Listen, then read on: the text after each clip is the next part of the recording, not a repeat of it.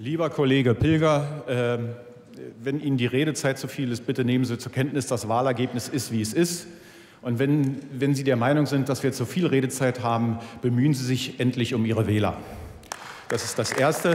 Das Zweite, ich möchte hier ganz eindeutig richtigstellen. Ich habe den Ist-Zustand in meiner Rede beschrieben und Sie haben den sogar noch mal bestätigt. Sie werfen mir aber trotzdem Fake News vor. Das ist einfach unredlich. Vielen Dank. Herr Kollege Peger, wollen Sie antworten? Danke sehr. Dann liegen mir weitere Wortmeldungen zu diesem Einzelplan nicht vor und wir kommen dann